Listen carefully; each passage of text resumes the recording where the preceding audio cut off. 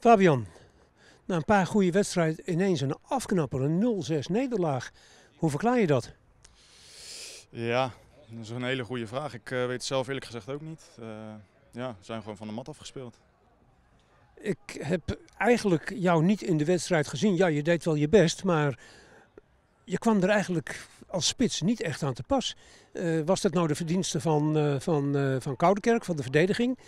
Of werd je ja, toch matig aangespeeld? Ja, ik denk dat het toch wel te maken heeft met het spel van ons. Uh, we zijn niet echt in de mogelijkheid gekomen om uh, voorin uh, spel te maken. En ja, dan kan ik ook niet echt iets creëren, zeg maar. Jullie verdediging gaf nogal wat weg eigenlijk. Hoewel jullie al in de eerste minuut met 1-0 hadden voor kunnen staan. Maar die gaf nogal wat ruimte weg. En ik vond dat jullie toch wel wat individualistisch bezig waren. Ja, klopt. Vond ik zelf ook. ja, het samenspel wat ik laatste week heb gezien, dat was vandaag ja, er niet. Heb je daar een verklaring voor? Ja, een relativeringscheck denk We denken dat we er al zijn misschien. Ja.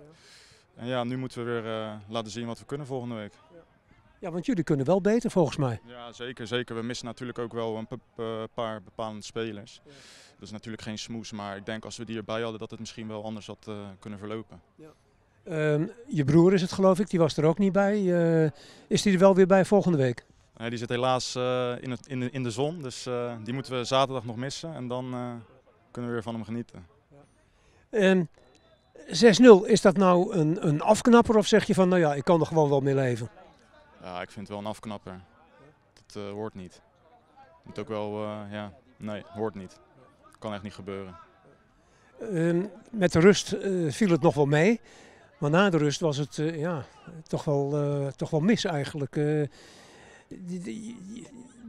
gokken op een verdediging die langzaam is. De trainer van Koudekerk zei het net. Uh, we zetten de twee uh, snelle spitsen tegenover. Moeten jullie dan niet verder achterover leunen? Ja, maar dan wordt het veld ook weer te groot natuurlijk. Ik vond zelf ook uh, na rust, we hadden nog wel uh, wat kunnen creëren. Maar ja, dan valt de goal gauw weer. En ja, dan is het toch achter feiten aanlopen en dan wordt het deze uitslag. Volgende week beter? We gaan er wel vanuit, ja.